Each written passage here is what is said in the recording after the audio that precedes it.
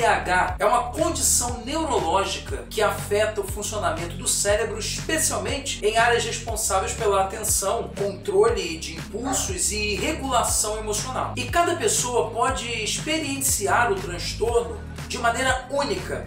Por isso, o tratamento é muitas vezes personalizado. O tratamento para TDAH costuma ser multidisciplinar. O que isso significa? Que envolve diferentes abordagens que, combinadas, ajudam a melhorar os sintomas e a qualidade de vida de quem tem o TDAH. Vamos começar pelo tratamento mais comum e também conhecido, a medicação. A medicação, especialmente os psicoestimulantes, são frequentemente prescritas para o TDAH. Esses medicamentos atuam diretamente nas áreas do cérebro que controlam a atenção e o comportamento, ajudando a melhorar a concentração e também a reduzir a impulsividade. Mas é importante lembrar o seguinte: a medicação ela deve sempre ser prescrita e acompanhada por um médico especializado. Cada organismo reage de forma diferente e ajustar a dosagem é fundamental para evitar efeitos colaterais indesejados. A medicação é sempre necessária no tratamento do TDAH? Não, a medicação ela não é sempre necessária. O tratamento ele é personalizado e pode incluir outras formas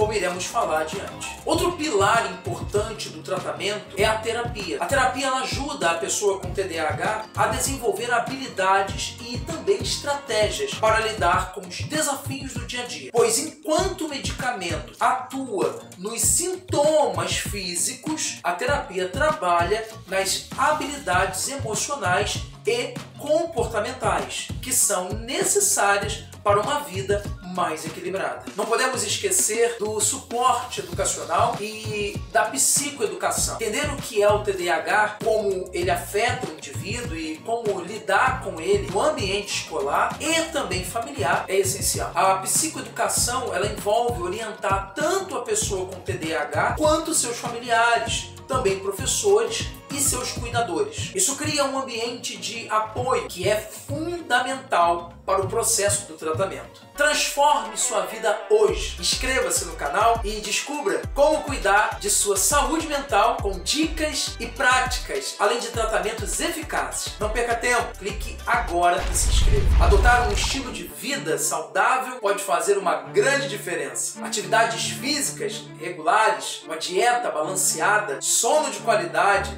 são fatores que contribuem significativamente para o bem-estar de quem tem TDAH. Estudos mostram que o exercício físico pode, por exemplo, ajudar a liberar neurotransmissores como dopamina e serotonina, que melhoram a atenção e também o humor. E por falar em estilo de vida, é importante lembrar que evitar o consumo excessivo de açúcar, cafeína e outros estimulantes também podem ajudar a controlar os sintomas do TDAH. Pequenos ajustes na rotina podem ter um grande impacto no dia a dia.